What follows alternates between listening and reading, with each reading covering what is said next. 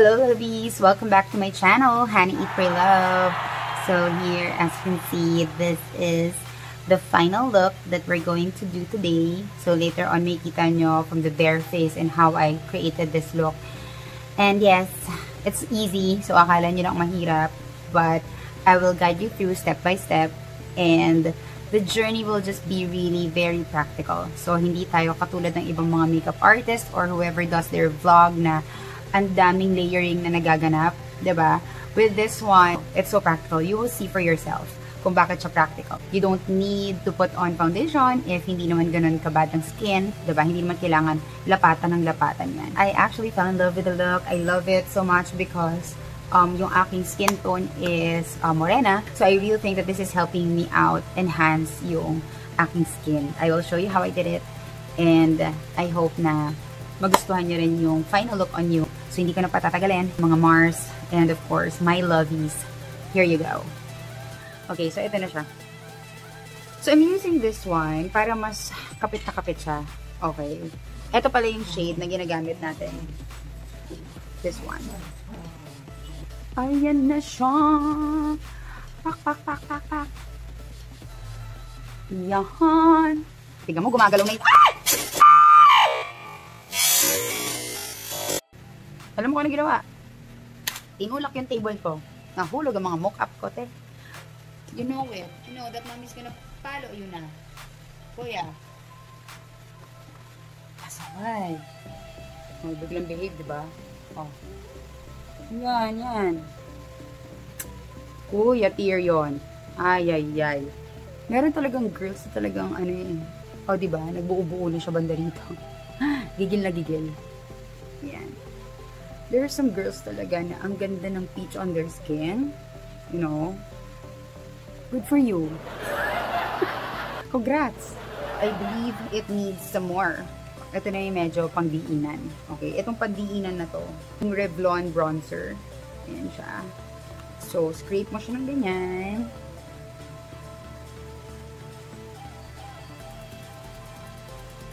Ito na yung actually yung medyo, ano na talaga, intense na yung pa-sun kiss niya talaga. Yan.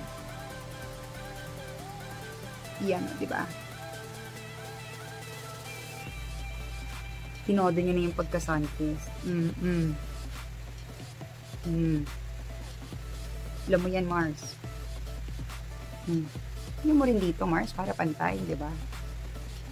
Yan. Tak. Tak. Ngayon, syempre, kailangan medyo mas define siya across, di ba? So, gumamit ka nito para mas madiinan mo siya ng bongga. So, start here. Yan. Pop.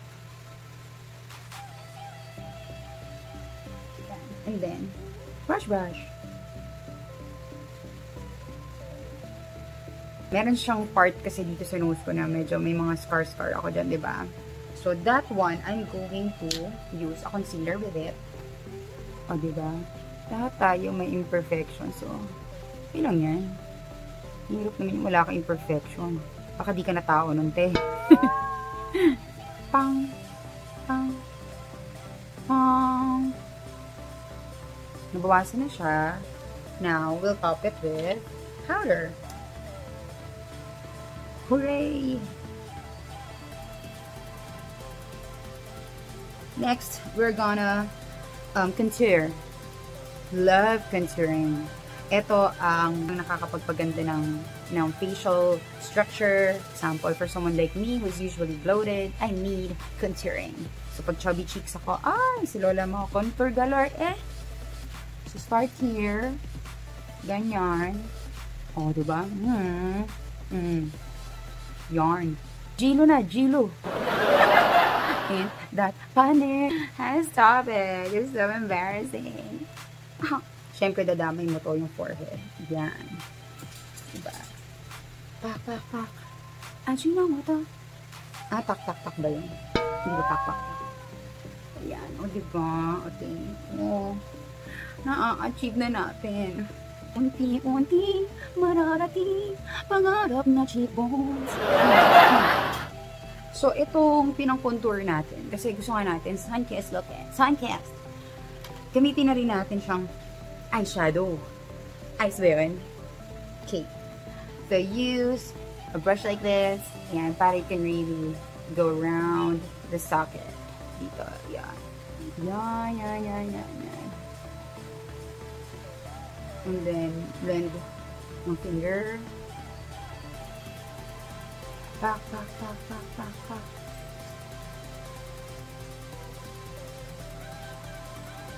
Boom! Ayan. Ayan. Nadali mo tayo. Add some more dito, yung across the bridge. Okay? Gusto kasi natin medyo mas ma-intensify yung look niya na para bang ano talaga. Um, bronzy bronzy and all that. Yan, di ba? Mm. And then go across. Yes. Yes. I like contouring my nose. Nang gamit ko lang is my fingertips. So, we're gonna do that.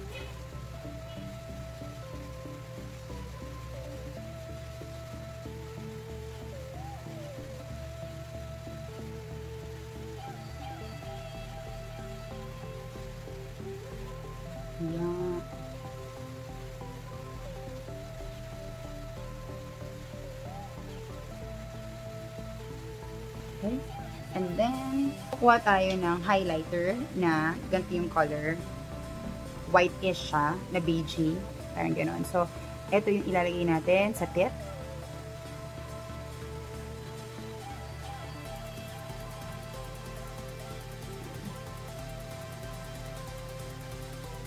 Nice. And then here, some more.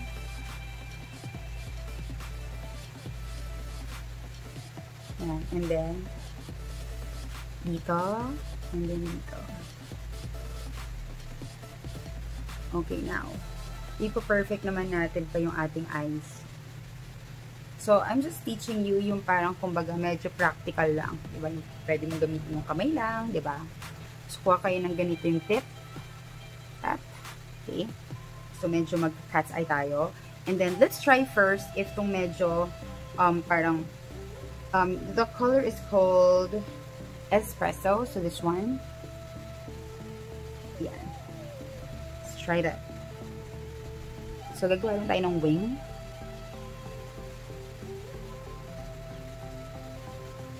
Very light lang.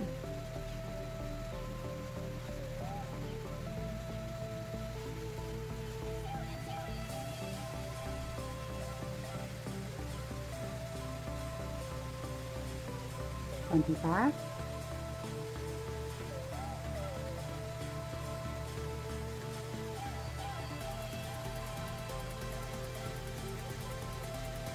Very subtle.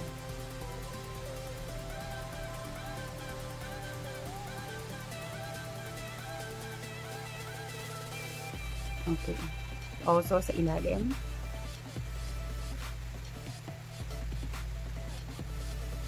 Saan ang lakad mo, Gore? So, for the kilay, babrush muna natin siya, okay?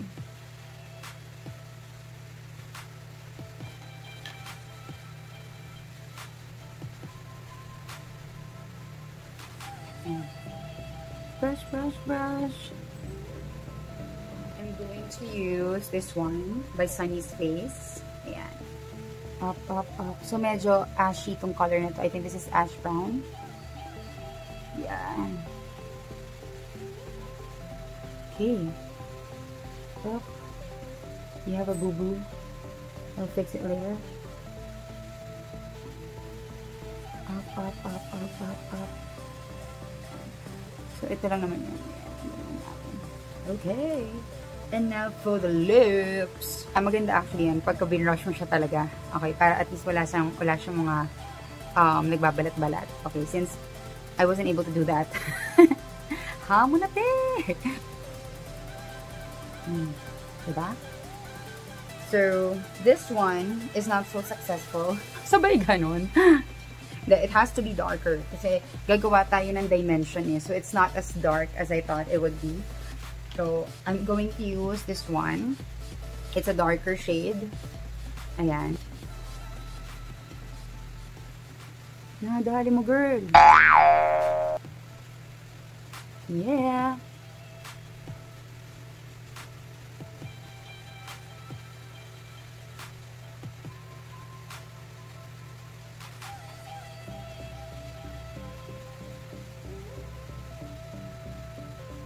Uh-huh. We put uh, Imat Lipi. Mm-hmm. This is medyo orangey, no? This shade is, this is by Maybelline. Okay, so this is 225 Delicate. Ayan, lip color. Mag, lalagay tayo ng lip gloss over it. Okay, so I'm gonna try this one by Almay. So let's try it. Let's try it, try it. let's try it. Okay. Uh-huh.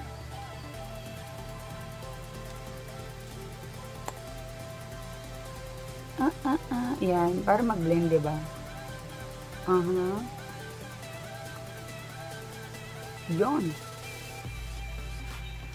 Yon, ah. There you go. Finishing touches, mascara. Where is my mascara? Donated by Selena.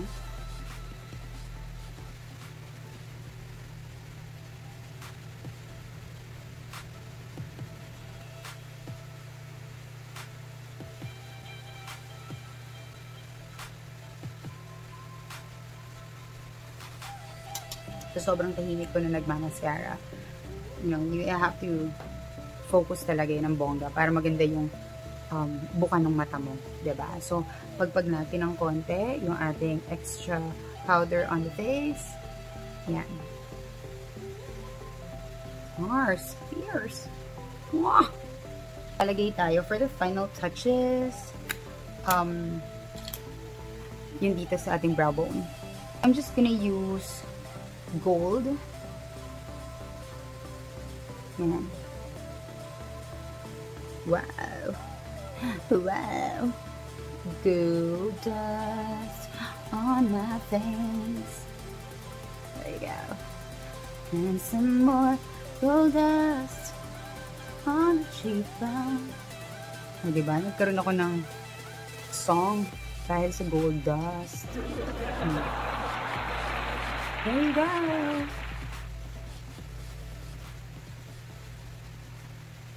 I used to think if I couldn't make dreams come true, I should just let them all